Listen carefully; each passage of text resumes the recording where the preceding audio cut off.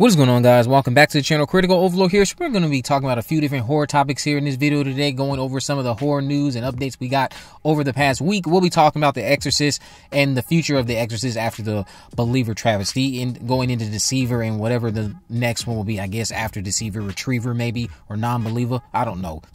we'll be talking about Renny Harlin's the, Renny Harlin's The Strangers trilogy.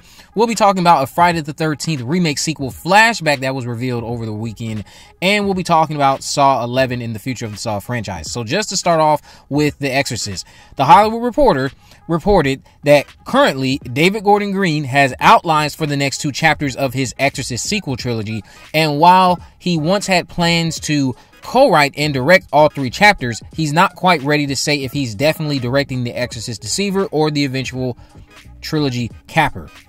In his own words, Green tells the outlet, this is coming from Bloody Disgusting, my intention is just to start making things, and as those plans come together, if I find myself in that, the Exorcist Deceiver director's chair, I'd be thrilled. But right now, I'm navigating it from a story perspective and looking at my realities of life as I pivot. I will say this if he's not directing, I wouldn't necessarily say that's a complete W. I again would truly like to remind everyone I don't think that the direction is the biggest problem with The Exorcist Believer. I think the biggest problem starts with the screenplay. Now, granted, did Green write it? Yes, he co wrote it.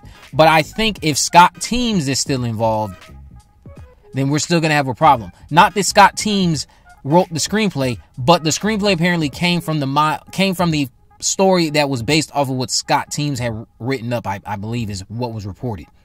So if Scott Teems is still involved creatively, I'm probably going to still be on the fence about Deceiver, regardless of who's directing it. Not to say that a better director couldn't make it make it any more impressive, but if Scott Teems is still there, I'm still just going to be side eyeing it because I just do not like some of the stuff Scott Teems does. Granted, not all of his movies are train wrecks, but Firestarter, 100% his worst. And then I know people have their ups and downs with the latest Insidious, and Scott Teems again was involved with this. He was involved with Halloween Kills, so we'll just have to wait and see. Jumping into The Strangers, Renny Harlin's comments on The Strangers recently with Bloody Disgusting goes as follows. Talking about the future of the trilogy after this uh, first movie. He says, so not to trivialize or spell it out too much, the second and third movies are an exploration of where does this come from. More than anything, they are the exploration of what could happen to a person, in this case, a young woman, who is the victim of such senseless violence. What does that do to you mentally and physically? And what's your journey after that? It's an exploration, an exploration of that more than anything. And I think we will answer a lot of the questions the fans of the original have and then go far beyond that. By the end of the third movie, there are more questions than answers, really. I can't wait to make the next three movies. So he seems to be teasing another set of movies after this upcoming trilogy. He says he can't wait to make the next three because I just think that we do something so interesting here. Personally, I can't wait to see where it goes after this. Now, his comments sound good to some degree, and in other areas, like earlier on in the comments, I see why some people are concerned that they might have missed the point of that original film since they want to explore reasoning and answer questions that are existing from that original. Granted, that doesn't mean that the trilogy can't be phenomenal, especially after that clip that was adequate enough for me.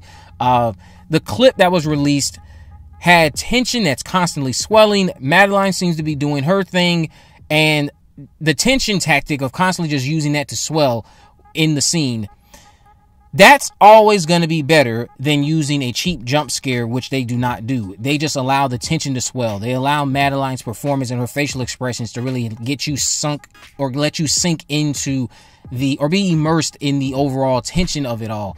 And then the music that's chiming in, and of course the nods to the first one, saying, Is Tamara here or is Tamara home? I like that. Uh, I thought it was an adequate enough clip. Could they have released a better one? Sure. I'm sure what we see of the film going forward will be great. But what do you guys think about the Strangers clip and this awesome new poster as well?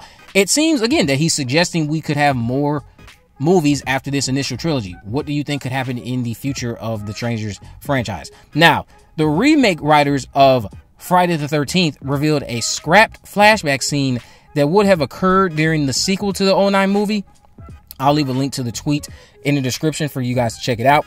It's a flashback of Pamela and Elias discussing sending Jason away because they aren't equipped to take care of him at their cabin.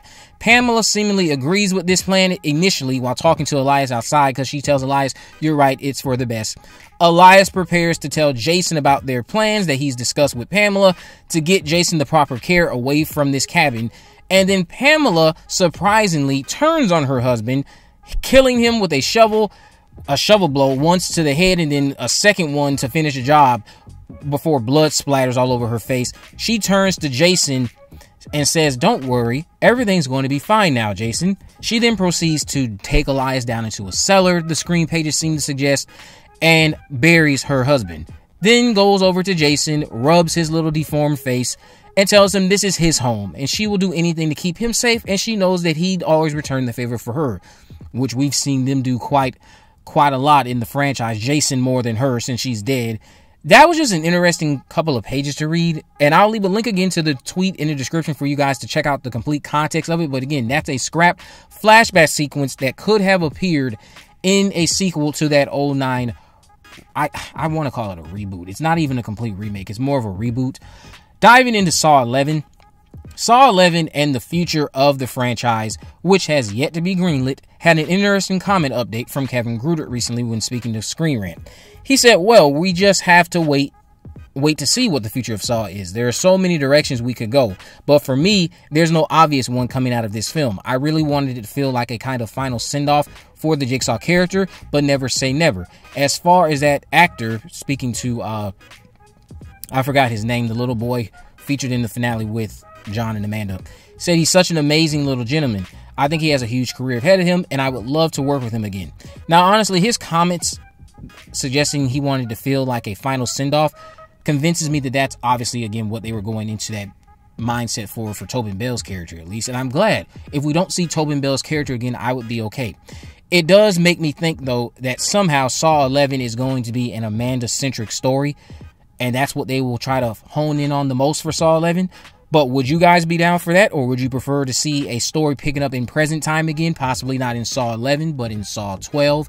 Because they're clearly, I would say, going to make more of these movies. And I think what they're trying to do is maybe tell a little bit more of a story with John's apprentices going forward and then leave Tobin Bell out. If Tobin Bell is included, it just won't be as heavily centered on him the way Saw X was, which is why I think it works as a good final send off for Tobin Bell.